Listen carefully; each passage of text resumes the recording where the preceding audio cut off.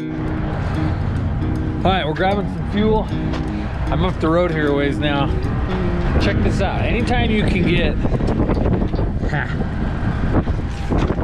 Ah, you guys ever run this stuff? It's called Roadmaster Premium from Cenex. And uh, it's really good. It's really good diesel. Always ups your fuel mileage. I don't use it anymore because I use uh, Hot Shot Secrets uh, everyday treatment. But uh, anytime you can get Roadmaster Premium, I like to get it. Why people usually don't get it is because it costs like eight cents more a gallon, but you get better fuel mileage with it. Um, you, you just do. And so, uh, anyway, pull into this place. Roadmaster for uh, the same price as regular. Oh, So anyway, I wanted to show you this tire. Remember, I was just doing that pre-trip a minute ago. See the colors here. So when I'm running down the highway, the whole tire is black, right? You pull on the gravel and you get gravel dust on the, the whole tire. You can see this one. You can see what's white and what's not. So that's all that's contacting the road. So it's interesting, and I, I'm not a tire wizard as far as wear goes, but it's interesting that these innards somehow wear down even though they're not contacting the highway surface. Weird, huh? Anyway, good old tires. They'll, they're one of the weirdest things about trucking, tires. I know what you're thinking when you see that dirty. Around my fuel cap, it's pretty gnarly. That's wintertime. That's wintertime running and dirt road stuff. Dirt road deliveries and wintertime running. Things get a little bit dirty. Just don't want to let any dirt inside. We are giving her the stuffage. There we go.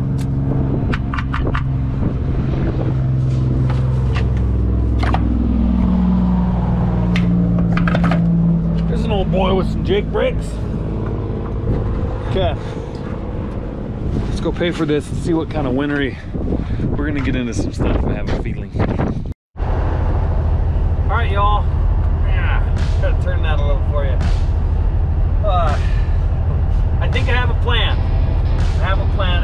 See out the window, nothing, nothing much to worry about yet, obviously. Uh, pretty good wind coming in from the north. Right now, let's see, geographically, I won't name these towns because you won't know any of them. Uh, a couple of you might. Uh, I'm just north of Seibert, Colorado. Uh, Seibert is on I-70. If you continue on I-70, it would take you into Denver. Right now, Denver is locked into a raging behemoth. Cheyenne, Wyoming, which is up north on I-25, getting weather and wind. Um, to be honest with you, let me finish my route. Sorry.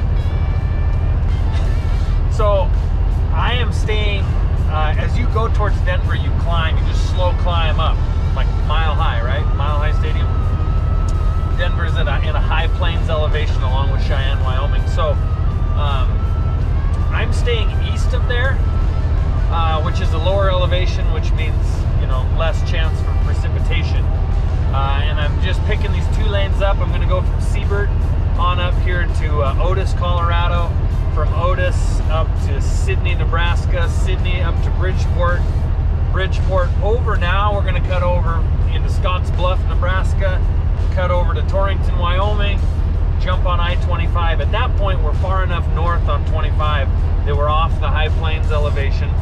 Uh, you get north of Cheyenne, it drops back down lower elevation. Um, and there's no winter warnings and death bombs or nothing to worry about there. So, that's the direction I'm going. The freeway up in northern Wyoming was closed this morning. They've opened it back up. So by the time I get up there, all this craziness should be blown through. Um, old Cody or Dunal, I like to call him Dunal. D-U-N-L, like Daryl, but Dunal. he just got loaded out of Montana and is going to start picking his way east with the load. And uh, anyway, that's that's kind of where we're sitting. So there's still some still some, some things on my plate that I'll be uh, kind of worrying about.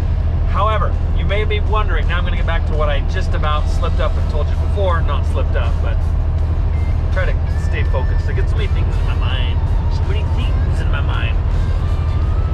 So, am I scared of driving through snow and stuff? No, but I will maintain that the greatest hazard for me on the road during bad weather is other vehicles. Dealing with other semis, dealing with um, cars, people that aren't very comfortable that probably shouldn't be out on the bad roads. And I don't mean that in a mean way. I talked about this on the podcast um, a couple weeks back. Uh, in the wintertime, around the country in a lot of different places, there's some terrible pileups that happen. Um, I I 80, Interstate 80 in Wyoming, southern Wyoming, is notorious for horrible pileups. And the reason a lot of those pileups happen is because there's people out in those storms that just don't need to be out in the storms. I mean, weather's a serious thing, you guys. It's not, oh, it's snowing, oh well, just gonna have to go. There's a lot of things that you need to prioritize in your winter life that make you, that should make you pause and go, do I really need to, you know, go to such and such town today to do this or that?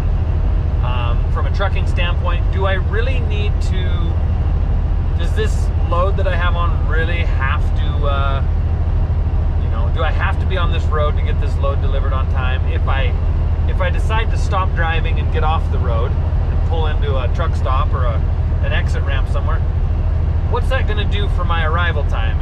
If, if I'm hauling a load across the country, then I have two more days to deliver. Will it really matter if I'm out in this? Surprisingly, the majority of the time, the answer is no, you don't need to be out in this. Um, I know a lot of truck drivers worry about if, if they don't keep their load schedule, um, they might get some heat from their company they work for, they might get some heat from the receiver where they're unloading.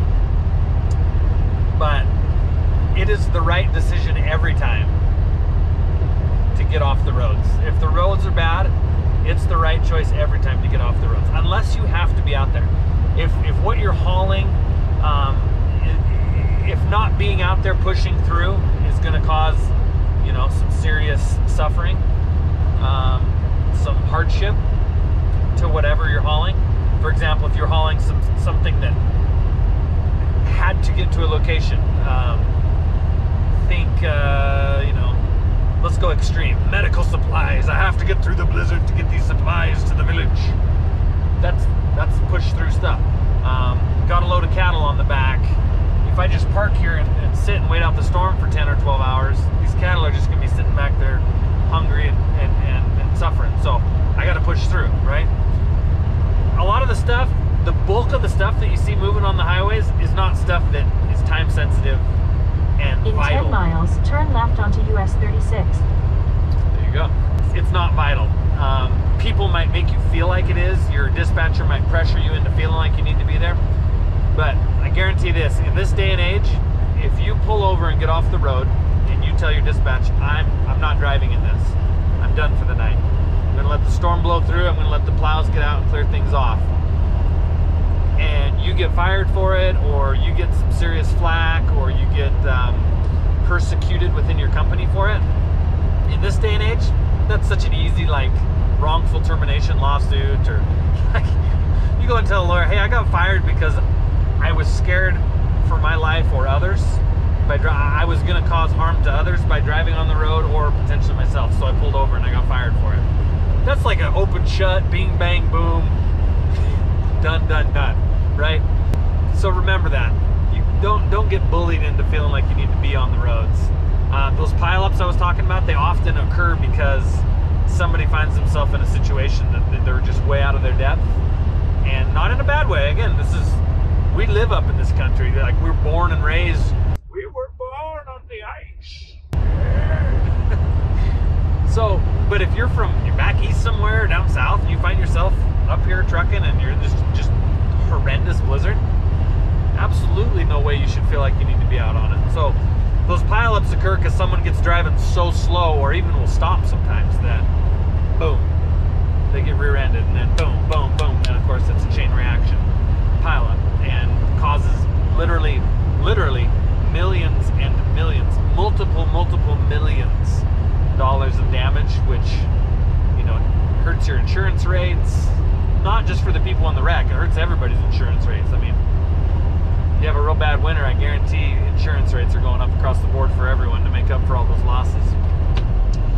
So So, uh, anyways, that's just my uh, two cents. That's why I'm not going through Denver. I just I I can handle the roads. It's the, the, the vehicles around me or the sudden slowdowns in traffic when there shouldn't be slowdowns in traffic, or you know, so on and so forth. Anyway, um, as you've probably noticed, there's a lot of monologues in this video, but it's trucking and it's inclement weather, and so that's the way it is. okay, coming back to you, getting a little bit of an update for you, I guess. Um, actually, this is going to come in the form of a tip. Doesn't matter if you drive semi trucks, if you drive cars, if you drive a bicycle. this is going to be a tip. Little boy out there fixing a little fence in the cold. Yeah, baby. So um, you'll see the roads here are wet. See in my mirror? See that back there just spraying water? If you look down, you can actually see my front tire spraying water out. Um, contrast that, if you will, with my outside air temperature gauge. See that? 23 degrees. And snow sticking on the on the ground around, but on the roadway, it's not sticking. Which means the roadway is warm, obviously, and the road spray, oops, the road spray coming from my rig uh, would show that it's wet. Now, there's going to be a, a moment here where we everything kind of comes together, where it's going to go from being wet to being frozen. Uh, like when I pass a semi right now, by the time my wipers wipe, it's already frozen on my windshield. So the air temperature is very cold, and the surface temperature is not. Like there's a truck passing me just blowing water. It's 23 degrees out, so somewhere along the line here it's going to freeze. And the main indicator of this that you want to watch for when you're driving. Watch that mirror like a hawk. And watch that spray coming out of my tires. When that spray disappears, you are on thin ice, literally. So that's what you want to watch for. If you're in a car and you're cruising along, um, this would create, actually this would create exactly what they call black ice because the road looks wet. You're like, oh, it's wet, but it's actually not. It's going to turn into a pure, just a thin sheen of ice that looks wet. So uh, watch for that, okay? There's no road spray, it's icy. And you don't want to hit your brakes, you don't want to hit your gas, you want to just coast until you're down to a comfortable, manageable speed. So, you heard it there. You learned a little something, right? Watch that spray. See right there? Sterling. At the next stop sign, turn left. Thank you. Sterling Correctional Facility. Sterling, Colorado. Still getting road spray, you guys. It's bumped up a degree to 24 though. So ideally, like in a perfect world, you want it to get dry before it gets cold. You don't want it to go from warm to cold while it's dropping the precipitation situation. But uh, that's where we're at, Sterling, Colorado. You've been there, you know it. One of the main things that you always see around the prisons is signs that say prison, right? Do not pick up hitchhikers. because. It's funny that they take the time to put the sign up because you're like, how many prison breaks do you have? Like, is it kind of normal? Like, you always dealing with prison breaks? No. But they put signs up that are like, don't pick up a hitchhiker around here because there's a good chance they're from convict.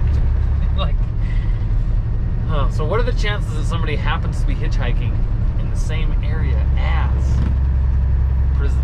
Be like this crazy combination that if the two overlap, where you get a prisoner who's a convict at the same time. Crazy. Anyway, I'm driving by the prison and I look at the, the entrance ramp to the freeway and there's somebody out hitchhiking not going the direction I am, or I would have picked them up. That would make for some great content for you. Picking up a hitchhiker, having an interview with a hitchhiker on YouTube. Uh, have you picked up a hitchhiker before? I've picked up a few over the years. Um, you know, hitchhiking, like when I came out of high school, it was kind of like a, like, man, can you imagine just like hitchhiking and just, oh, just go, it'd be crazy cool, right?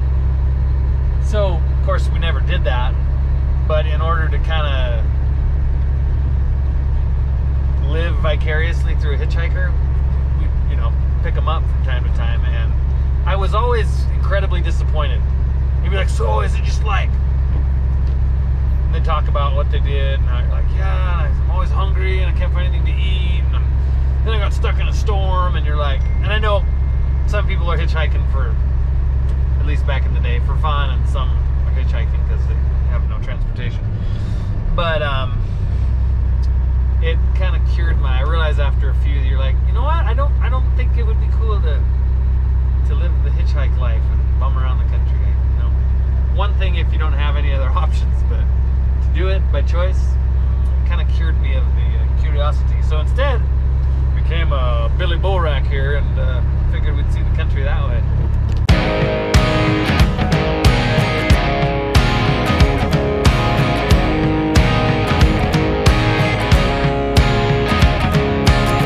forever young?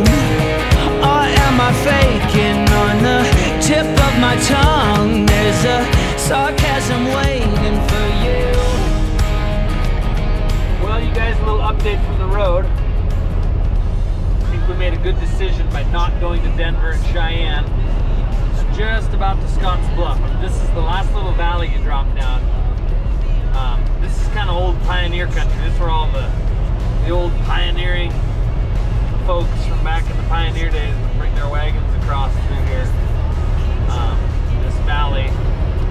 I'm not sure if they call it the is the Platte River Valley. Someone probably knows and can correct me, but um, anyway, they'd follow this river, the valley, and whatever, kind of right on through here, over through Wyoming, over there by Muddy Gap and all that, and then into Utah. From there to California or wherever they were going. So, anyway, it's kind of a cool little gap you shoot through there. But uh, obviously, as you see, the weather's cleared up. Um, the road closed somewhere up in Wyoming at the moment. So somewhere along the way, we're going to get back into some some weather. But for now, we'll uh, we'll take the respite. I, I can't even say the respite because I haven't truly hit any horrible stuff yet. Uh, one thing I want to impress upon you, if you're ever doing weather stuff, don't over embellish the weather. In 10 miles, turn left onto US 26 West. Yes, every time I start a video, she tells me. So anyway, don't don't over embellish the weather. I'll tell you a quick example. So uh, my boy, my driver, my man Dunal, he loaded back out of Montana this morning, and right out of the town that he loaded out of, there's a mountain pass, and somebody else had earlier that morning told me that while they were follow the story now, while they were while they were fueling up, a cow trailer came in from over the pass.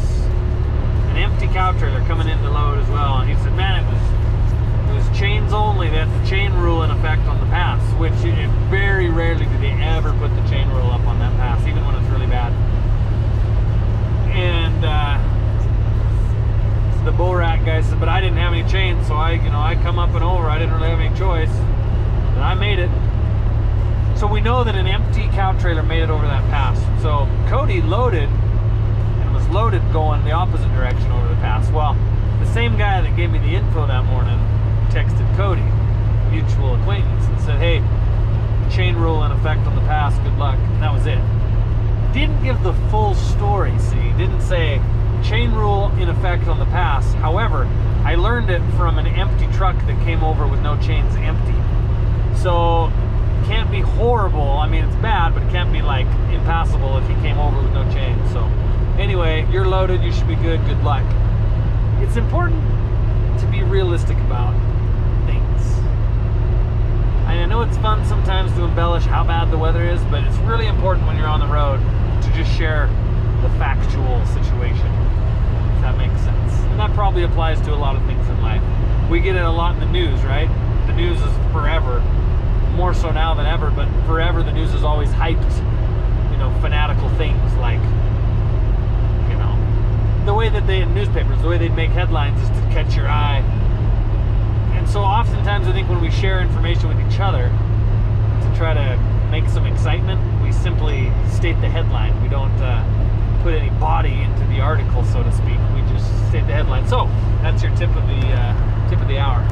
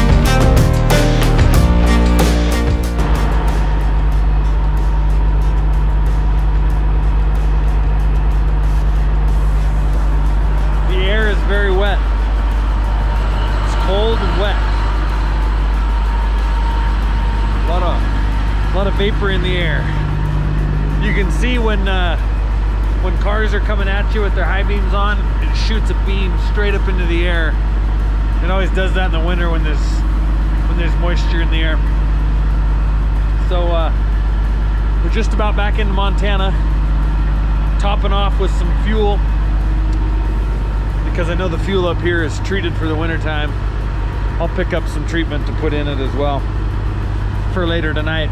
It's about six degrees right now and it's supposed to get, well, very much below zero.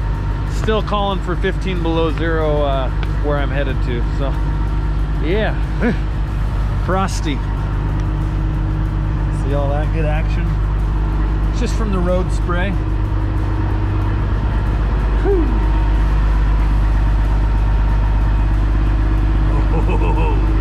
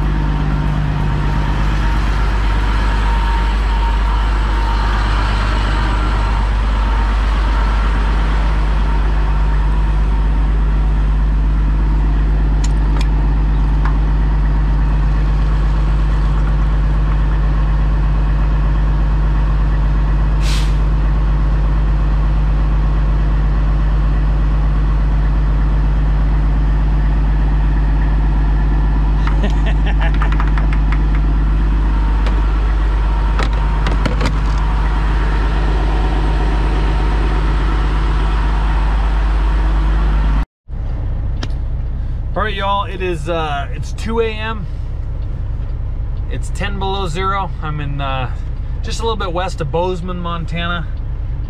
Cold, man. Cold. Montana gets cold, but this is unseasonably cold for November. But is what it is, part of the deal. So, um, what I'm gonna do, I'm getting out. I'm gonna treat my diesel with some power service. Um, I'm, I'm not quite ready to stop for the night yet. I'm gonna drive down the road a ways but I want to get this stuff in now because if uh, sometimes if you put this in when you park it doesn't mix through your tanks very well and uh, it doesn't help keep your diesel from gelling up. So I'm going to put it in now and then start going down the road again. It'll slosh in the tanks and mix in and then get sucked into my fuel system. That way when I do pull over um, it's so cold tonight I'm gonna have to leave my truck running um, just to keep the fuel warm and the air system warm a cool thing that semi-engines do, um, they suck diesel up out of your tank and they bring it up to the engine. It brings it into the injection system, into the engine that's very hot. And then it only uses, you know, half the fuel or less. And the rest of the fuel that doesn't use, it sends it in a return line back to the tanks. And so that's actually hot diesel that it sends back and dumps in the tank. Um, so I'll show you with the camera when we go out here. I have a heat gun. I'll show you.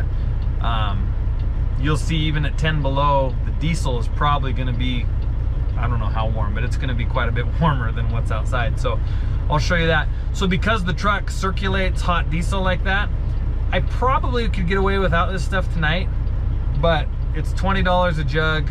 You put half of it in each tank and uh, then you don't have to worry about it. If I did end up gelling up, you know, while I was parked, it'd just be a huge pain in the morning. So let's go put this stuff in. We'll get all squared away. That way we don't got to worry about stuff and uh, we can get on down the road, huh?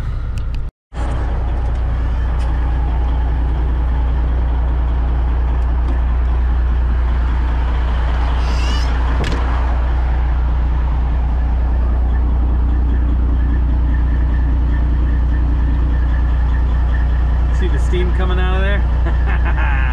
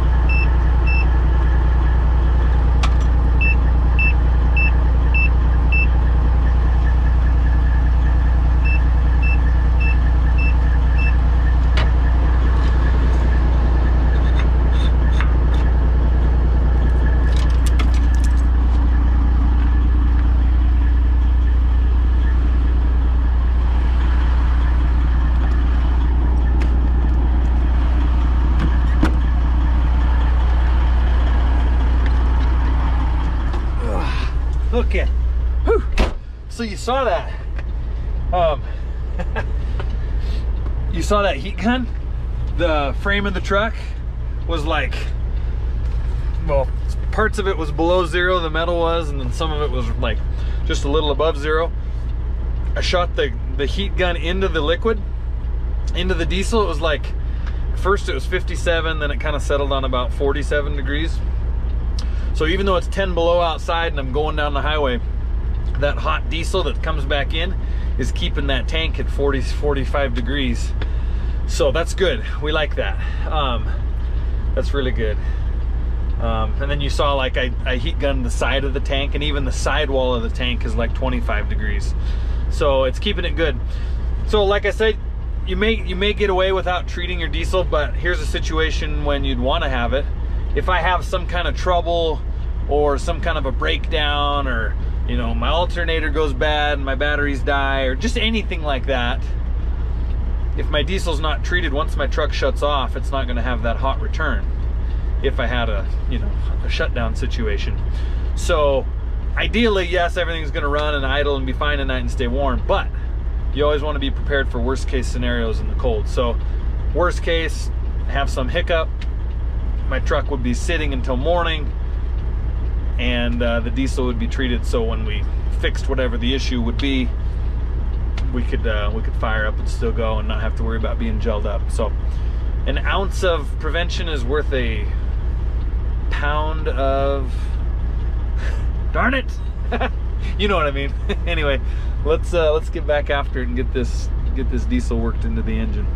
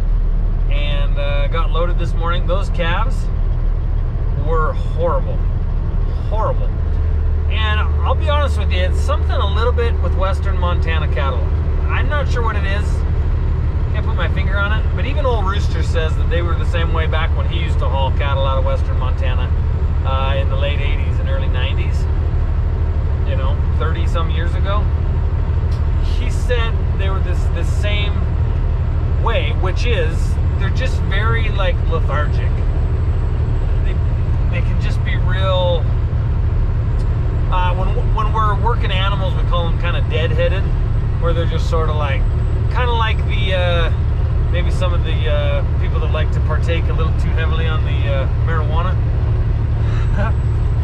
they can just be kind of like. Uh. In fact, I had a guy tell me one time. He's a friend from Colorado, and he's like, "I love I love smoking weed," is what he said. He goes, but here's the big problem. And I don't mean this to become a thing, but he goes, my big worry about people being able to smoke weed, do the reefer, breaker, breaker, freight shaker, is that it makes them really just just become really okay with doing nothing, just being like, eh. which is all you know. That's kind of the surfer, hey bro, you know. That's how it's always been portrayed. But these cattle were similar, and it could be that they're from western Montana, which is kind of the side of the state that really likes to partake in the in the uh, the cannabis, the marijuana. And I don't know if there's just enough of that secondhand smoke drifting around around Missoula that these calves were just like, hey. And then combine that with a really cold night, you just you just couldn't, you just wouldn't go. Like normally you can load the whole bunch kind of at once and they'll just file up and in. I had to load like small little bunches at a time, in and out, in and out, in and out. Anyway, we got them on. They're uh, what's it called when they put them in? Uh, they're in detox right now. They're getting some fresh mountain air, as you've seen, and uh, and we're rolling. So we got from Missoula to, to Grand Island. It's a it's a haul, you guys. It's another it's another 1100 mile run. So probably my last run for the fall, though. To be honest with you, um, probably my last fall for the run. In fact, I would say right now is as good a time as any to fill you in on the fall situation. So normally, let me tell you what our normal fall run is, okay? Our normal fall run is come Labor Day, we start getting phone calls, start hauling cattle out of the sale barns across the state out to the Midwest. We do that not crazy, but steady through September. Then October rolls around, and by the first week of October, you're getting busy. You're getting phone calls nonstop. You're telling people no more than you're telling people yes when it when it comes to hauling cattle for them because you just don't have enough truck capacity. That continues all through October, all through November, right up until Thanksgiving. Sometimes even through Thanksgiving. Um, and then you have a little break. Everyone takes a little breather. And then first week of December, whoa, comes flying back in, hammer, hammer, hammer, right till Christmas Eve. That's typical. And then we have Christmas break, and then January ends up being pretty busy as well because you know they had two weeks off for Christmas, and there's people that want to sell their cattle after the first of the year for maybe for tax reasons and defer some of their income into the next year. So you have a little spurt again in January, and then the rest is you know February, March, April, just kind of cattle are just they're, they're slow. You know, I cut the crew back to just you know one or two guys. And uh, anyway, that's a normal year, okay? So let's uh, do the sands of time. Talk about this year. This year had zero cattle calls in September, maybe one or two, but virtually none. the cattle that we haul in September are usually cattle that uh, are kind of teenaged, so to speak. They're not babies, but they're not adults. They've spent the summer out on grass, and in September they bring them in off grass and ship them to the feedlots in the Midwest. And because of the drought, there were no cattle on grass last summer here. They just nobody had grass to put teenage cattle out on. They they sold them all last winter instead of keeping some of them to put out on grass. So September was dead. October, the first two weeks came and went with nothing. October kind of 15th until like the first week of November, crazy. So about three weeks of just like insanity. And then the second week of November, nothing. I mean, a couple things, but but nobody was busy. I mean, I had I had guys where I'm like, hey, take three days, and they're like, what? I'm like, take three days. Okay. And then we had this week that I'm in the midst of right now, and everybody has gone crazy this week. We've all been running our guts out this week, and it's because Thanksgiving is coming, and the market is, pretty strong right now. Still, well, it's it's faltering, but it's decent. And so everyone's like, sell your stuff. Then we had this big winter storm the last, you know, week or so where we've got all this all this snow piled up. Nobody wants to have to feed their cattle. So they're like, let's sell all the extra stuff we've been hanging around. Let's get them gone. So this week's been wild. Thanksgiving's going to come, and post Thanksgiving, I don't know this till it comes, but post Thanksgiving, I'm not expecting much for cattle. Expecting, you know, gonna try to keep like three guys, you know, busy. I'm gonna remove myself from the pool, so to speak, because I want my guys to be able to have more loads. I don't wanna I don't wanna put myself in there and take loads from them by by putting myself into the load pool. You know, because I know it I know it's gonna be slower. I think we'll still have loads, but it's not gonna be crazy. I'm hoping that I can get, you know, maybe two loads a week for the guys, know, for uh, for three or four of my trucks, and that'll kind of keep guys going through Christmas. So for me, I'm going to be going to do some other stuff. I don't know what. Um, we'll see. I'm not going to do peak season work. In the past, I've hauled packages for UPS. I've hauled for FedEx. Um, I'll make maybe I'll make I'll, I'll, talk about it some other time. It's kind of a different direction, but uh, that used to be the Wild West. It used to be fun. It used to be like this is this is crazy. It's good money. It's all gone. It's all been gobbled up and corporatized and you know, it used to be a it used to be a crew of us guys, a bunch of us cow haulers would uh, would come over from hauling cows and show up at UPS.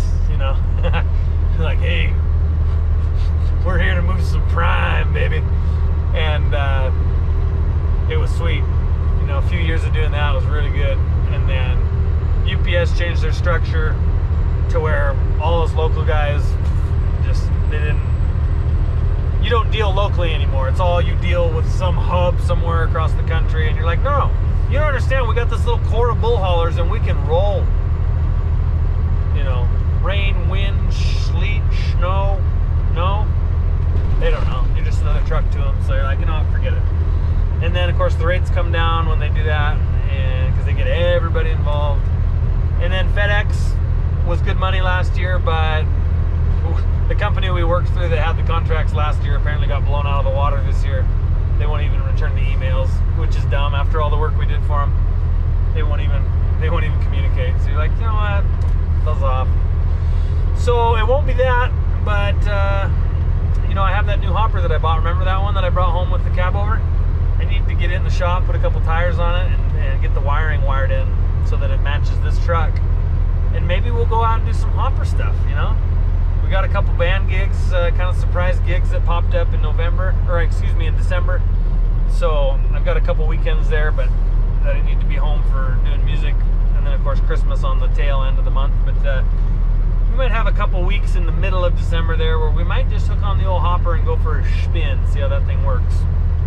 But uh, anyway, that's the fall run. So why has it been so slow and bad? Uh, it's weird because the rates have been actually pretty solid because the fuel prices are just ridiculous. Um, here's why it's here's why it's been so bad. For the last two and a half years, three years we've been in drought. People have been selling off their inventory. So when you sell off inventory, obviously you have less on the shelf, right? So all these cows that nobody could feed, we had to sell. You've seen some videos in the past, um, even from two summers ago, where we hauled cattle out to Nebraska. And uh, that catches up over time. You get rid of all these mama cows. Mama cows are what produce calves. Calves are what produce loads.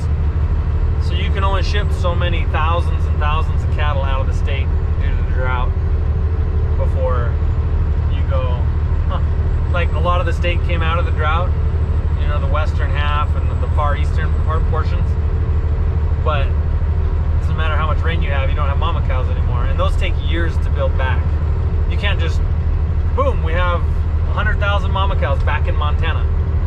It takes time to cultivate and raise new mamas up. So I, I would, in a nutshell, say the fall run this year, like the fall run, the craziness, where in the past we dealt with uh, eight weeks of crazy. This year was three and a half weeks of crazy.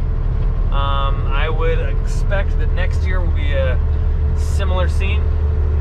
Um, and then hopefully by the third year we'll be getting back up into our into our former numbers. But anyway, I've been holding that out for a long time. Not for any reason. I just kept forgetting to fill you in on the fall run situation. So. Well, it appears we have a little excitement going on at the feedlot this morning. Sure if it's training. I don't think it's training. I think it's a. I think it is a real fire. Of course, it's it's on the cleanup now, but here comes old Spencer, I think. We'll see what he's got to say here. Huh. Whoa! We got a little fire. Little excitement, huh? Yeah, yeah. Oh man, what happened? I don't know. We've got some ground corn stalks delivered, and I think it must have started when Oh, it loaded. or something weird Something there. got a little hot. I'll be darned. Yeah. Didn't do nothing, did it? No, Just right just here. right there. yeah. I was worrying the down in there, and Get into clear that. that. Yeah. Oh man. I think we got it now, sort of. Huh. But, uh, Right on. Might be able to get through there. I don't know. Yeah. If uh, let's see. I'll see if they can move that. Just one. that tanker looks like he's moving it now. Yeah. You want me to cut over on the concrete over here, or just drive through the? I think you can go straight through there. It's fine now. Okay. If he just would back up a little bit, Yeah. I'll go talk to him. Cool. How many got it? 90? uh, no, Corey had his numbers wrong, so I ended up with 88. 88. And then the next truck coming's got 106. When's that one gonna be here? It'll be tomorrow morning. Tomorrow morning. Okay. Well, it sounds like I would assume a lot of that got edited out because the language was a little salty there coming in the window. so they get they took delivery on some corn stalks for feed, just some ground up corn stalks, and something in the corn stalks was on fire.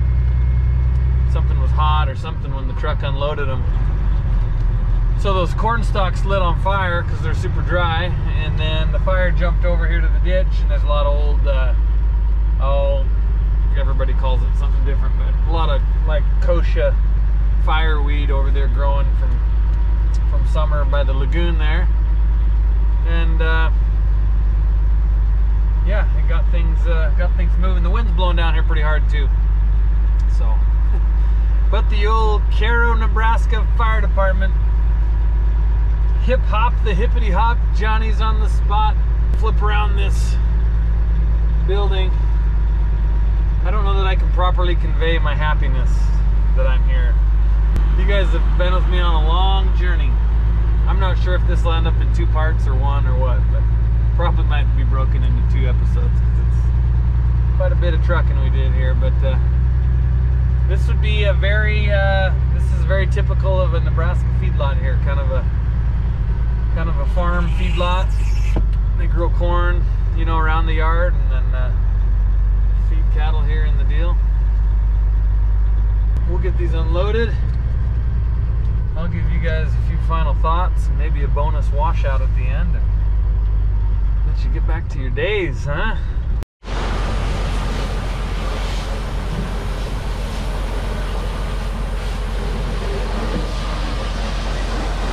Man, oh man.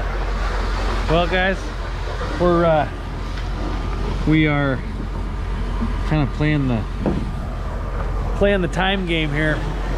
So I got unloaded, everything went great. I'm fading fast. I've only got so much energies left before I call her a night. And I need to get washed out. And uh, it's like 30 degrees, the sun's shining. So inside the trailer right now, it is actually still thawed out. It's not frozen yet. A little bit of it is, but the bulk of it will wash right out. So I hustled my buns to get back here and uh, wouldn't you know there's two guys in, already washing right now. This is a quiet little country washout in Ainsworth, Nebraska that I love using. The owner of it is a, just a really nice little fella and, and been real good to, to work with over the years. Um, anyway, so here we are waiting for these guys. Got a Thompson truck out of Billings, Montana and an Ickstad. I don't know where he's from. I don't recognize him, but this guy would be uh, considered a neighbor, I guess, technically, right? But uh, anyway, oh, I think they'll get washed and get out of the way, and I should be able to. It's looking like this guy's gonna win the race between the two of them. So I'll back into this one, and uh, I think I got about an hour or so left before, before the sun goes down. Once the sun goes down, it'll get a little tricky, but but uh, that's the plan. Let me show you guys how this washout works. I need to walk around a little bit anyway. I want to show you how this goes. It's kind of cool. Okay, so right here, man, you can see how icy it is from the last couple days.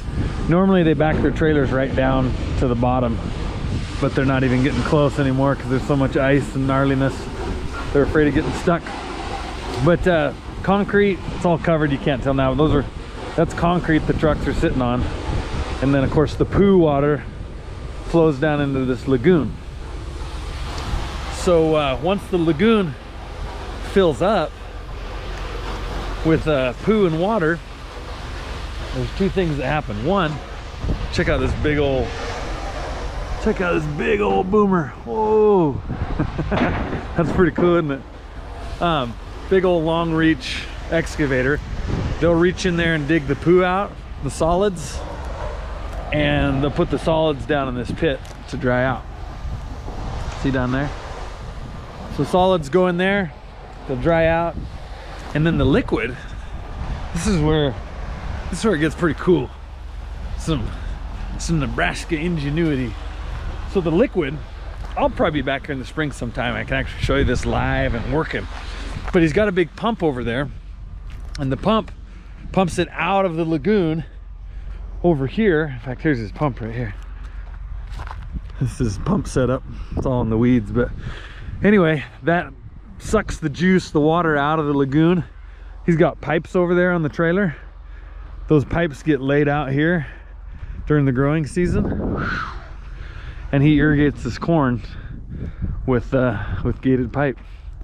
So pretty cool. Corn husks with no corn because they combined it all. But so all this this field here all gets irrigated just from the water. So of course the water's high in nitrogen and plants love nitrogen. So the corn utilizes the nitrogen, the water goes back into the earth, filters through the ground, the solids go into the pit, and once they've dried out and whatnot, well not dried out, but once he's got them in there where they can sit, they'll put that in the manure spread and they'll spread it out around here as well. So kind of a cool full circle cycle because um, you got to remember the manure obviously is grass and water, you know. It's, it's all just processed grass from the old cattle. But uh, I've always like, I've always thought these setups are just cool. Just because you're like, man, it's just like this perfect fertilizer system. Nice little cash crop he gets off the corn. Corn's worth like, it's like, it's like as valuable as gold. Gold. But uh, I'm gonna bring you guys along if I don't get too, man, look how, uh, see all this white? That's all, salt. That's all courtesy of South Dakota. But it's getting shady in there. And when it gets shady in there, it'll start freezing fast. Uh, if you're wondering if it does freeze, I can go back up further into South Dakota and there's a hot water washout where they have a a natural hot spring that comes out of the ground and they use the hot water from it to wash cow trailers out. But man, we really need a we really need a rinse. So you can just see all that left on there. Of course, that all just corrodes and eats eats away. So I'll uh, hopefully it's light enough I can capture some of this washout for you guys, and uh, that'll be that. We'll boogie on back up to to Montucky.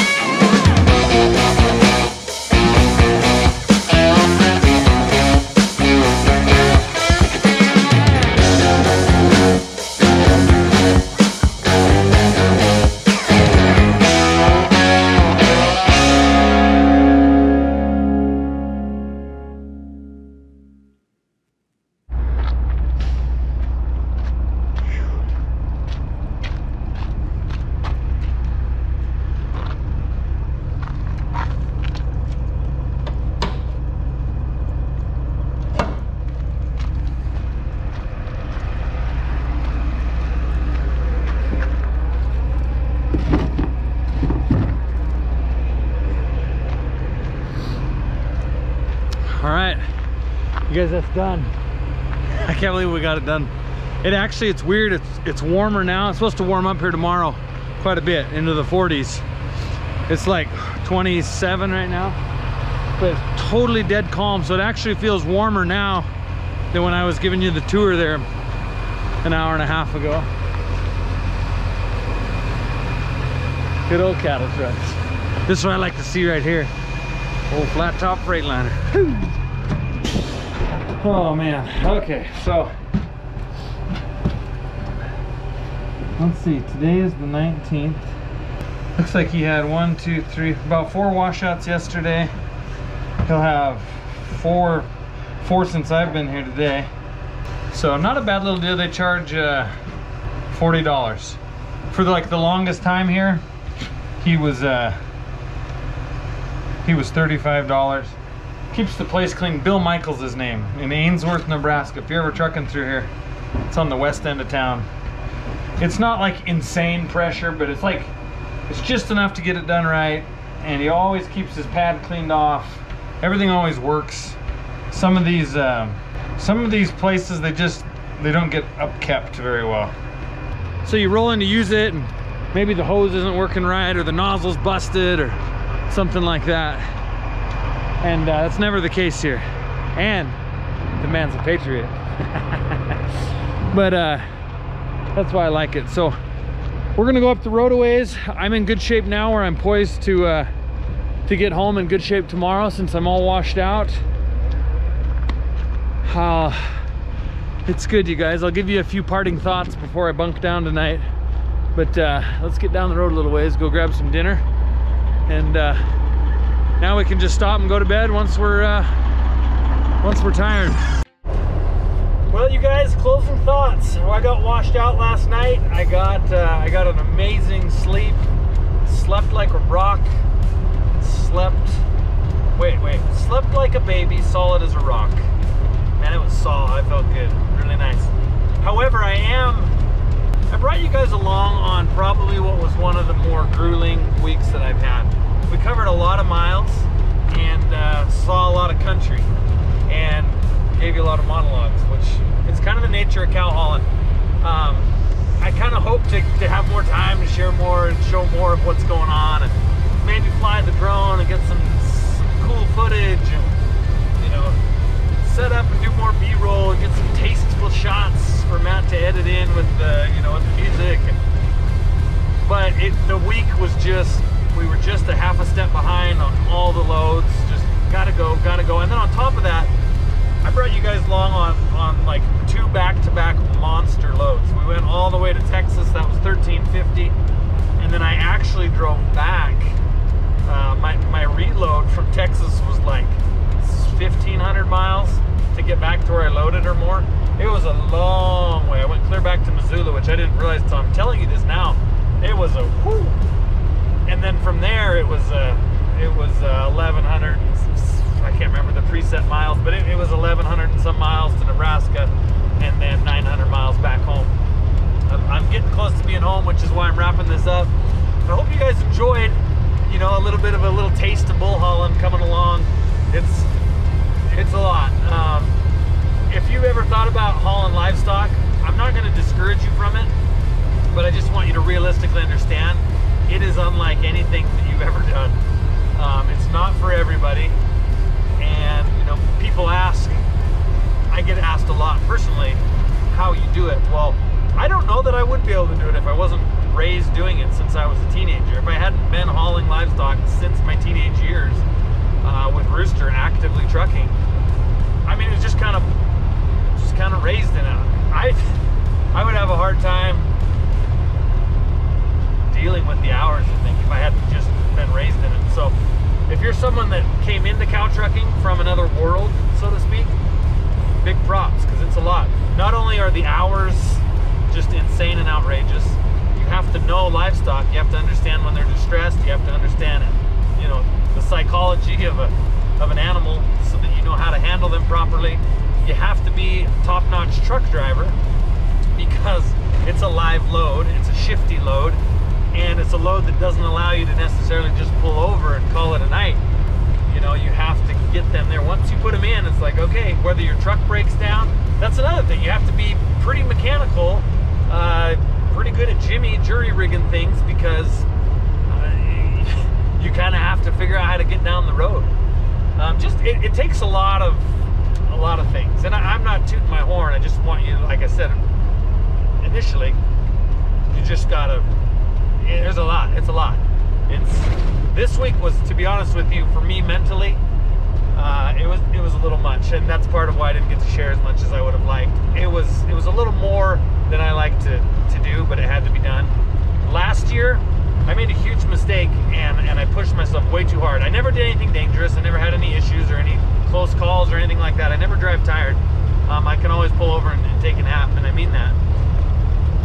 I never drive sleepy, is what I mean. Tired, you're all tired all the time, but um, I never drive sleepy to where I'm in danger of falling asleep and wrecking. Um, it's just not worth it for that. But um, last year I pushed myself too hard to where I I had to step away from cow hauling for several months because I like just the thought of it, the sight of it, was just like nope, uh-uh, I'm not doing it. I will not. I am not. And it took it took about six or eight months for me to get back in the saddle. As, as serious as, as strange as that sounds, but I had just burned myself out. I pushed too hard. I did way too many 5,000, 6,000 mile weeks, which are just horrible. And anyway, I learned my lesson from it, and I've done a much better job this year of taking good care of myself. So uh, that's good. Nobody's immune from that by any means. So I hope you enjoyed again. Like I said, you guys, I really appreciate the support. Uh, it is holiday season. If you haven't had the chance, check out the website. Um, I always put it in the link below. You have any questions or uh, any things you need to email about, I usually put a, the email link down there as well. Um, merchandise, I have I have a fair bit left, but it's starting. I'm starting to run out of some of the certain sizes and and uh, product lines, so to speak. And I don't plan on on reprinting things. Once they're gone, they're gone, and I- I'll come up with something different to replace it with. But uh, once they're gone, they're gone, and uh, they're getting down that way. So anyway, y'all, been good. I'm gonna get home and uh, take a long shower and uh, enjoy the family and have a great